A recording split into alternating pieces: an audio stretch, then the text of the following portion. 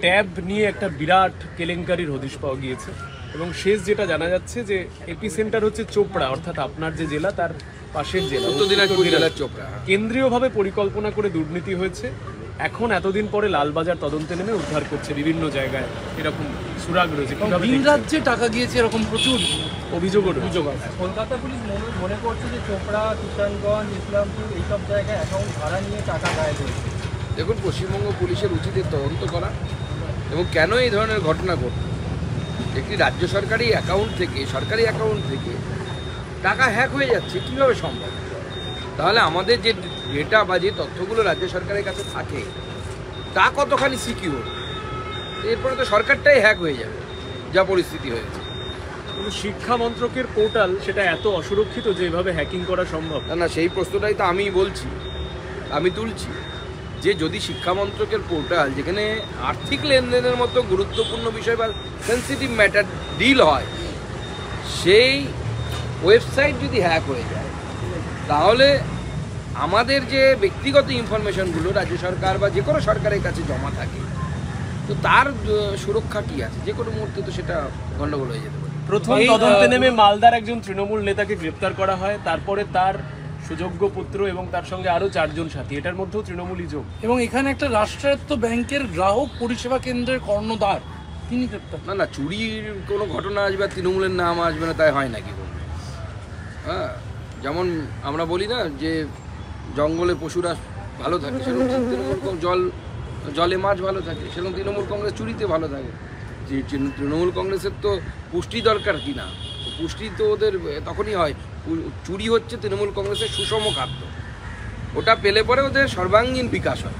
তো তৃণমূল কংগ্রেস যত চুরি করবে তত সর্বাঙ্গীন বিকাশ হবে তৃণমূল কংগ্রেস সুকান্তদা ভাটপাড়ায় নিহত তৃণমূল নেতার পরিবারের দাবি তাদের পুলিশের উপর আস্থা নেই এনআইএ তদন্তের দাবি তারা জানাচ্ছেন রাজ্যপালের কাছে তারা আসবে এবং অর্জুন সিং বলেছিল অমিত শাহকে চিঠি লিখবেন। দেখুন পশ্চিমবঙ্গে তৃণমূল নেতারা খুন হলে পরেও যখন তৃণমূল কংগ্রেসের শাসিত পুলিশের উপর বিশ্বাস রাখতে পারছে না তাহলে তো ধরে নিতে হবে যে এই সরকারের উপর মানুষের বিশ্বাস সম্পূর্ণভাবে আস্থা সম্পূর্ণভাবে শেষ হয়ে গেছে। মানুষ চাইছে যে এই সরকারটা চলে যাবে এখন যেন তেন প্রকারে কায়দা কানুন করে ওরা ভোটটা পাচ্ছে। তিন চার পার্সেন্টের ব্যাপার এদিক ওদিক হয়ে গেলে পরেই পগার পার হয়ে যাবে তৃণমূল কংগ্রেস। আপনারা দীর্ঘদিন এই রাজ্যে লটারি দুর্নীতির কথা তুলে ধরেছেন। লটারি। জালিয়াতি তদন্তে কাল থেকে রাজ্যে অভিযান চালাচ্ছে ইডি। লেক মার্কেট এলাকায় আবাসন থেকে তল্লাশি করে আনুমানিক তিন কোটি টাকা উদ্ধার আনা হয়েছে টাকা গোনার যন্ত্র। আবার টাকা গোনার যন্ত্র গুনে। পশ্চিমবঙ্গে তো এটা প্রতিনিয়ত একটি দৃশ্যে আমাদের সবার কাছে আকাঙ্ক্ষিত দৃশ্য হয়ে গেছে যে আমরা মাঝে মাঝে খবরের চ্যানেল খুলবো।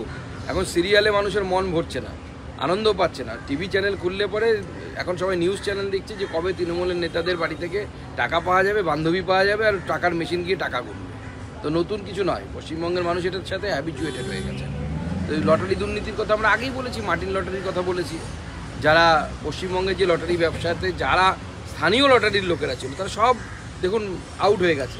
এখন শুধু একটাই লটারি চলে, সেটা হচ্ছে ডিআর লটারি, মার্টিন লটারি, অন্য কোনো লটারি নেই। এত দুর্নীতি, এর আগেও আমরা দেখেছি গত তিন বছর বা গত আড়াই বছরে প্রচুর টাকার, এই দুর্নীতির টাকার হদিশ মিলেছে। কিন্তু তারপরে দেখা গেল লোকসভায় আসন বাড়ল তৃণমূলের। রাজ্যের বিরোধী দলের, আপনি রাজ্য সভাপতি, প্রধান বিরোধী দলের, দুর্নীতির কি ভোটে কোনো ইস্যু হচ্ছে না বা রাজনীতিতে কোনো প্রভাবই ফেলছে না? দেখুন তৃণমূল কংগ্রেস দুর্নীতি করবে দুর্নীতি করে এটা সাধারণ মানুষের গা সওয়া হয়ে গেছে। জানে তৃণমূল নেতা মানে চোর। প্র্যাকটিক্যালি তৃণমূল এমন একটা অ্যাটমসফিয়ার তৈরি করে দিয়েছে যে পলিটিক্স করবে মানে চুরি করবে ওটুকু না করলে আর কি করল?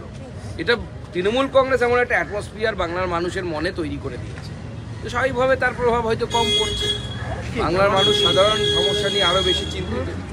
তো আমি বিশ্বাস করি যে তিন চার পার্সেন্টের ভোটের ফারাক আছে। এই তিন চার পার্সেন্টের ভোটের ফারাক খুব তাড়াতাড়ি মিটে যাবে এবং ভারতীয় জনতা পার্টি ছাব্বিশে ক্ষমতায় আসবে।